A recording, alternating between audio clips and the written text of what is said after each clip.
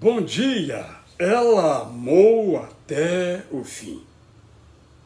Mesmo tendo sua vida mudada por decisões que não tomou, Maria, mãe de Jesus, continuou amando os seus.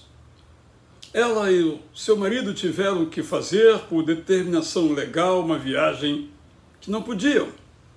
Ser parte de uma sociedade impõe compromissos nem sempre agradáveis. Eles tinham que se registrar em Belém. A família. Somos acolhidos e acolhemos, somos protegidos e protegemos, somos formados e formamos. É na família que vamos nos tornando gente. Nem sempre dá para planejar todas as coisas, mesmo no mundo como o nosso. José, por exemplo, por mais cuidadoso que fosse, não conseguiu dar um lugar adequado ao seu filho para nascer. Às vezes, as condições que nos são impostas não são as que queremos. Umas podem e devem ser recusadas, outras devem ser aceitas. José e Maria buscaram, onde foi possível, um lugar decente para o primeiro filho do casal, sem berço, sem enxoval.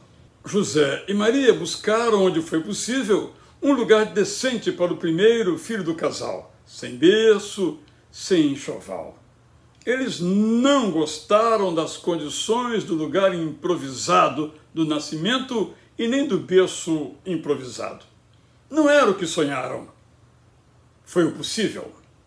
Maria aceitou sua condição e ali foi feliz.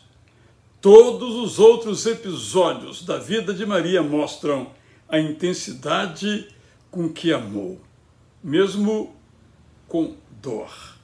É como Maria que devemos amar. Lembremos sempre que Deus prova seu amor para conosco pelo fato de Cristo ter morrido por nós quando ainda éramos pecadores. Romanos 5,8. Bom dia para você e sua família.